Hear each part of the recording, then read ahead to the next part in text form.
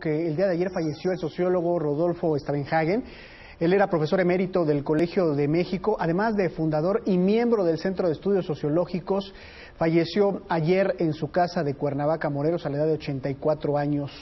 Stavenhagen, nació en Frankfurt en 1932, allá en Alemania, y llegó a México en 1940, cuando su familia salió de este país europeo durante la Segunda Guerra Mundial. Estudió artes en la Universidad de Chicago y más tarde ciencias antropológicas en la Escuela Nacional de Antropología e Historia. También fue catedrático en la Universidad Nacional Autónoma de México, en la Universidad de París y en otras instituciones de educación superior de América Latina. A él se le conoce y por supuesto se le resalta por su papel que tuvo en favor de los derechos humanos de las comunidades indígenas en el mundo.